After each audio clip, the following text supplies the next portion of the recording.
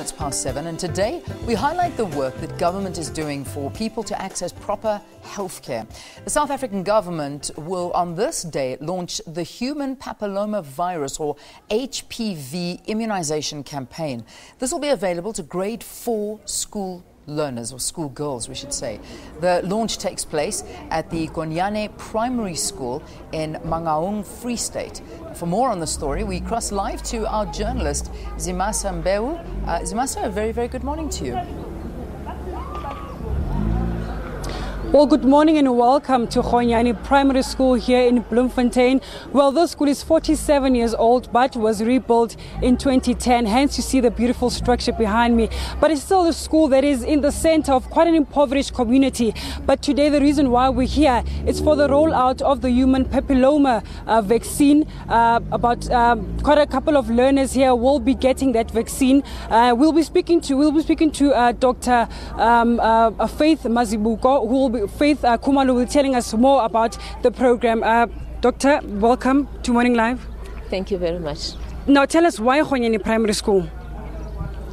We chose Gonyane Primary School, but in particular the Free State Province, for a number of reasons.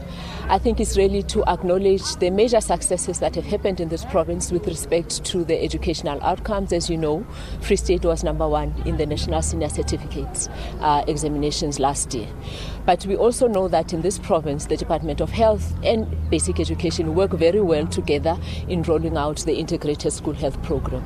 And really, the HPV vaccination program today is a component of that school health program, and it was really fitting that we would come and have this launch happen at school.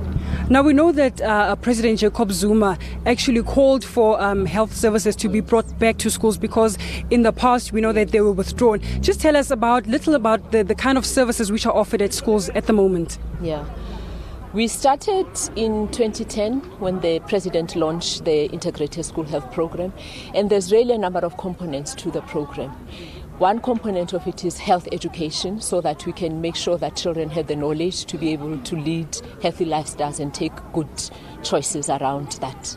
The second component is the health screening that we all used to have when we were kids.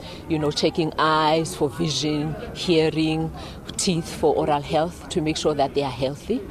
And the third component of, of that program is really the on site services, and that includes the immunization, and HPV is part of that, as well as treatment of minor ailments, so that the children don't have to go to health facilities to get the services, but the nurses and the school health teams actually come to school to make sure that they get the treatment on the spot as they require.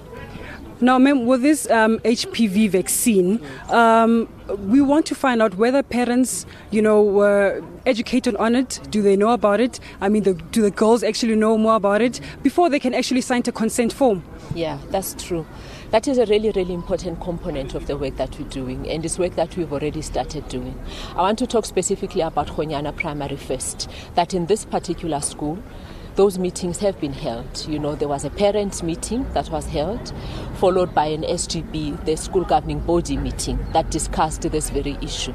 The girls that are going to be immunized here today with our minister have already received an orientation session from the health team. So already when they get the vaccination today, they would have been informed what it is about and what is intended to do.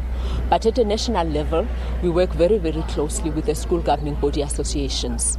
We've also consulted with our teacher unions as well as the principals associations, and all of them are on board and they've really committed to work with us to make sure that we communicate to parents and community members so that first they understand why this introduction, but also what their specific role in it it is. Because at the end of the day, it's important for us to say that this is a major public health intervention that is happening in our country. And we need to fully understand why it's done and how we can all together work towards making sure that every single girl has the opportunity to come in and access it. Because it's really to protect their lives and their future health and prevent cervical cancer, which is a major problem in our country at the moment.